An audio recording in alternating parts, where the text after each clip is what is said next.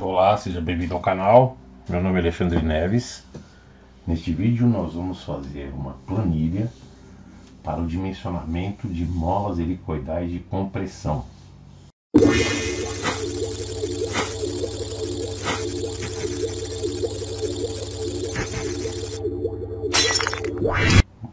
Temos aqui uma planilha onde eu vou explicar a montagem dela para poder fazer o dimensionamento de mola de compressão. Então aqui os valores que estão em amarelo são os valores de entrada, os valores digitáveis.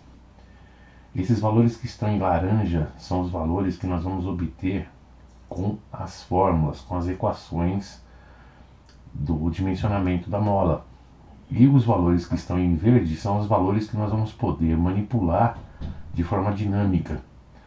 Além disso, a gente vai construir um gráfico aqui onde vai comparar a constante elástica teórica com a constante elástica real. Então a ideia básica aqui é o que? A partir de, imagine uma placa onde você tem uma determinada massa, essa massa com a influência da gravidade gera uma força, que seria esse cara aqui. Então a equação que nós temos aqui na célula D5 seria o que? Seria a multiplicação dessa massa por essa gravidade. Então nós obtemos essa força. A partir daí, nós vamos definir o comprimento da mola aberta e o comprimento da mola fechada. Então aqui ó, o comprimento natural, pode ver que eu estou pegando a célula A12 dividido por 10. Então no caso da célula A12 seria o que nós temos aqui atrás desse botão e vou dividir por 10. Como que eu configuro esse botão? Para configurar esses botões, eu vou vir aqui na barra de personalização de barra de ferramentas, procurar lá em mais comandos, eu vou procurar um botão em todos os comandos, ele seria uma barra de rolagem. Então lá em cima ele já está na minha, na minha barra de atalho, então seria uma barra de rolagem, controle de formulário. Então é só você selecionar aqui a barra de rolagem, pedir para adicionar, ele vai trazer para essa área aqui. Essa área são a área dos botões que você pode fazer o seu controle aqui em cima. Então você pode inserir essas barras justamente para poder fazer essas interações dentro da sua planilha. Então aqui eu já tenho essas barras aí. E observando o que está escondido atrás dele, que ele está na célula A12, você vai observar que está um valor de 500 milímetros. Como a configuração dele só permite valores inteiros, se você clicar com o botão direito sobre ele, você vai vir aqui em formatar controle e você vai observar como que você configura o seu botão. Então, por exemplo, eu estou colocando um valor mínimo aqui de 500, um valor máximo de 1000.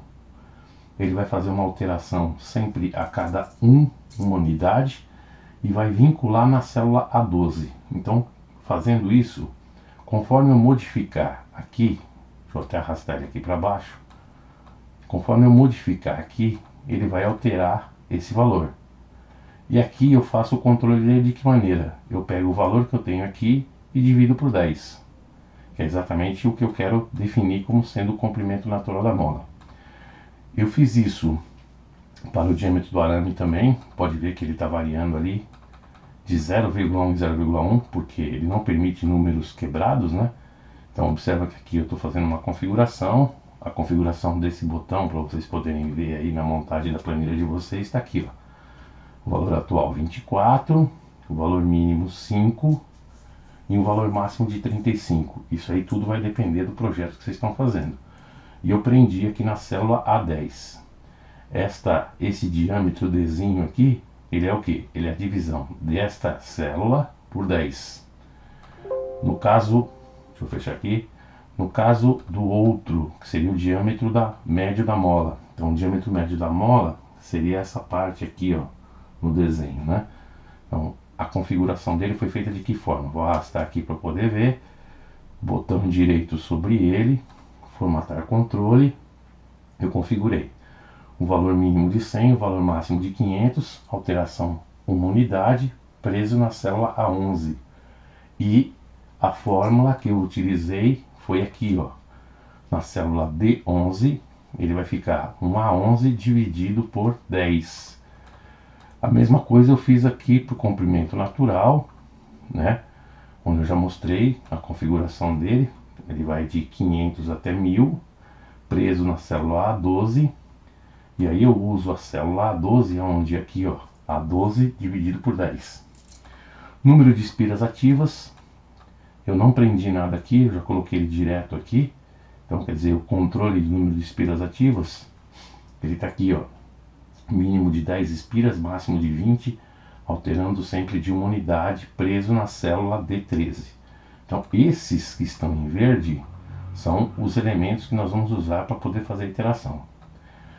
O que nós temos em amarelo, como eu disse, são os elementos que nós estamos digitando. Então, por exemplo, você vai digitar o comprimento da mola sólido, é só você colocar o valor quanto você quer a mola sólida e o modo elasticidade da mola. No caso aqui eu estou usando um material de aço que ele é de 80 gigapascal. Então eu já fiz a transformação trazendo para megapascal para poder trabalhar com as unidades em milímetro.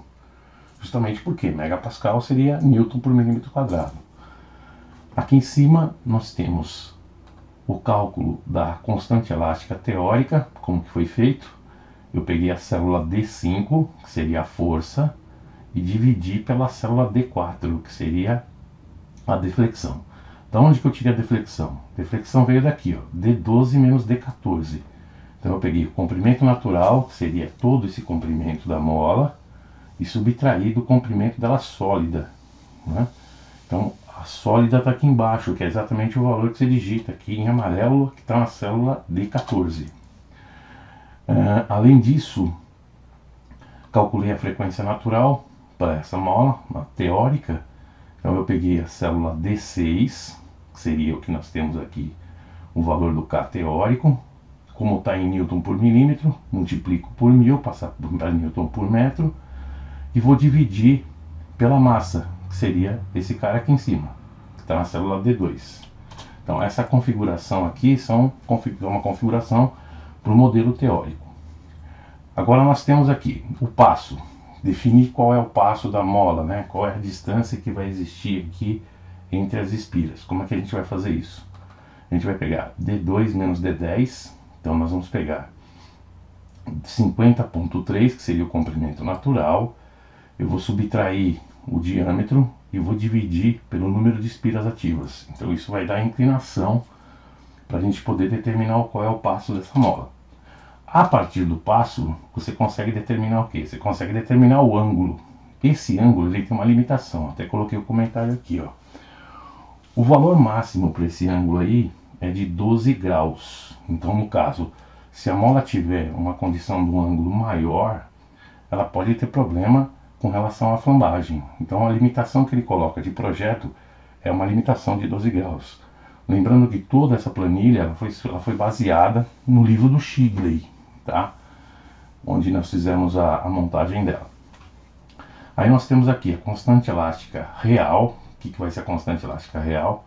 Ele pegou lá D10 elevado à quarta. Então, o diâmetro do arame elevado à quarta vezes D18. D18 seria o modo de elasticidade. Dividido por 8 vezes o número de espiras ativas, que está na célula D13, vezes D11 elevado ao cubo, que seria o diâmetro médio da mola. Então aqui a gente tira a constante elástica real. Uh, índice de curvatura. Índice de curvatura também é um índice que a gente tem que analisar e avaliar as condições de trabalho. Molas de uso industrial trabalham com índice de curvatura entre 8 e 10. Válvulas de embreagem trabalham com 5 e alguns casos extremos trabalham com 3. Lembrando que nessa condição do índice de curvatura ser muito baixo, ele pode gerar trinca quando a mola for gerada, né? quando ela for fabricada, justamente por causa do efeito da torção. Lembrando que aqui a gente não está levando em consideração essa ideia inicial. No vídeo mais à frente, a gente pode fazer um dimensionamento dessa mola, continuar o dimensionamento dessa mola, por fadiga, para poder fazer a verificação com relação à tensão de fadiga. A ideia aqui é fazer um dimensionamento para avaliar uma primeira condição de uso da moto. E aqui nós temos a frequência natural real dela, no caso, tirei a rigidez equivalente, né? Que seria o K real, para poder obter a frequência natural. Então aqui a gente pode fazer comparações. E para fazer essas comparações que eu fiz, eu montei um gráfico aqui. Esse gráfico ele ficou meio dinâmico. Como que ele ficou dinâmico? Eu peguei aqui alguns valores de deslocamento, que seriam nessa coluna aqui, ó. Então eu coloquei deslocamento de 0 a 10 milímetros. Para calcular a força teórica, o que, que eu fiz? Peguei o K teórico e multipliquei pelo deslocamento. Congelei a célula de D6, que seria a célula da constante elástica teórica. Arrastei até chegar em 10 milímetros. A mesma coisa eu fiz aqui, só que aqui eu fiz para o K real. Aliás, o K real não está aqui. Deixa eu até alterar ele aqui, que ele está nessa célula aqui, que é a D17. Então, pegando aqui o K real, D17, vou arrastar até lá embaixo. Então aqui nós temos o valor da força teórica, ou melhor, a força real. Oh, não é nada disso. De 17.